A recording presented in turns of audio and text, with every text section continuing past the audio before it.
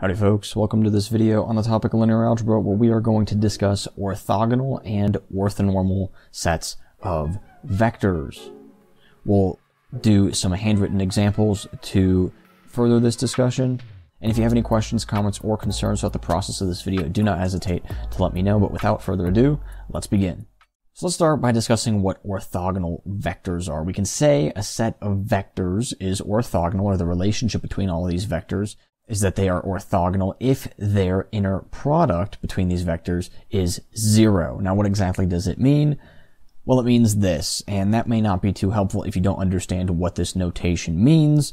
So let's actually discuss it because it's not that scary. This notation denotes the inner product, and it's used quite a lot when working in areas that deal a lot with linear algebra. For example, from my background in physics, we actually call this Bra-Ket notation. But this notation is actually quite simple to understand. This notation right here for some vector v is just a column vector. This notation right here for some vector v just represents the conjugate of that vector, or if we're working strictly in real space, that is just a row vector. Now, this conjugate is going to change depending on whether you're working in complex space, but for the sake of simplicity with this video, we're just going to continue on working uh, with the assumption that we're working in real space, or Rn. So when we put all of this together, this inner product looks like this. We have a row vector that is uh, one row by n columns, and then a column vector that is n rows by one column, which is going to give us a one by one value or a scalar value so that actually just gives us the dot product between these two vectors. And so the dot product is just a very specific variant of the inner product. All right, so let's do a quick example and see if these two vectors in this set are in fact orthogonal. So we'll start off by computing v1 by v2, which is 1, 1, 2 as a row vector, and then this column vector. So pretty simply, this is just 1 minus 2 plus 2, which is equal to 1, which is not equal to 0. So these two vectors are not orthogonal.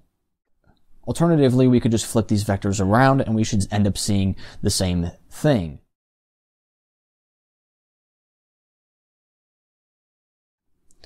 And so this is one of the interesting properties of the inner product is that if we do v1, v2, or one vector by another, and then switch them around, they should end up both seeing the same result. And so we can say for sure that this set of vectors is not orthogonal. All right, in this next example, we have another set of two vectors in a three space. Let's see if the inner product here is zero to see whether or not these vectors can be considered orthogonal.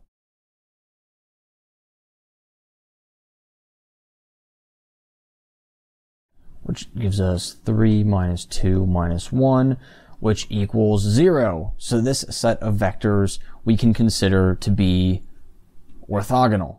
We might as well check the opposite here of v2, v1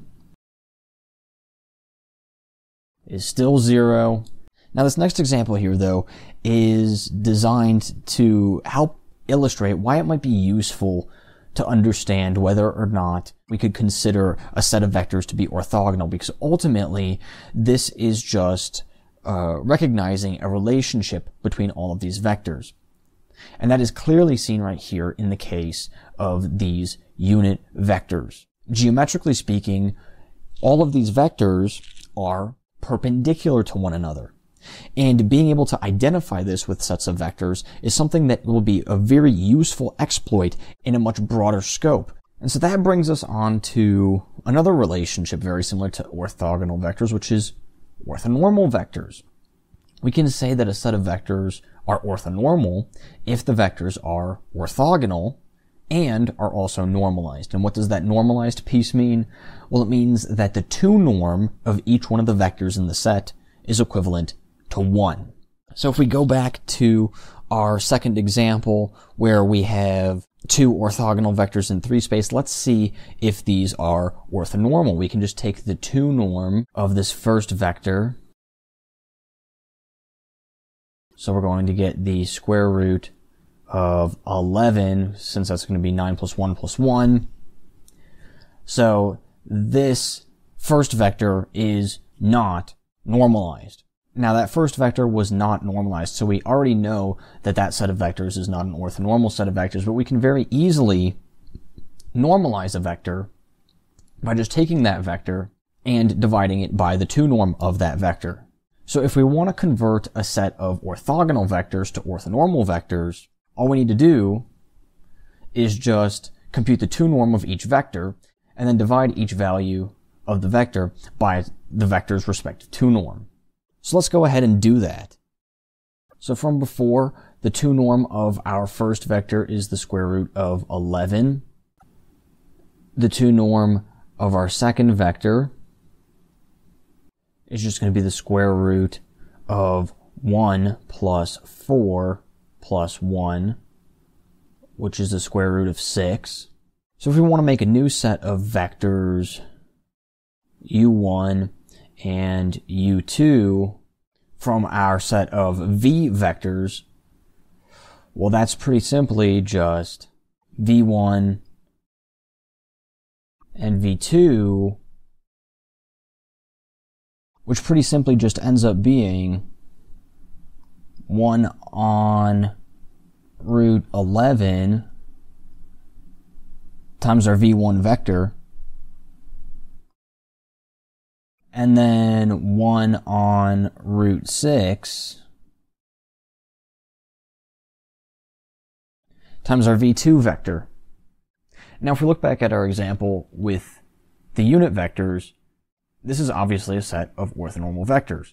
And this is, again, a very useful relationship to be able to identify between a set of vectors.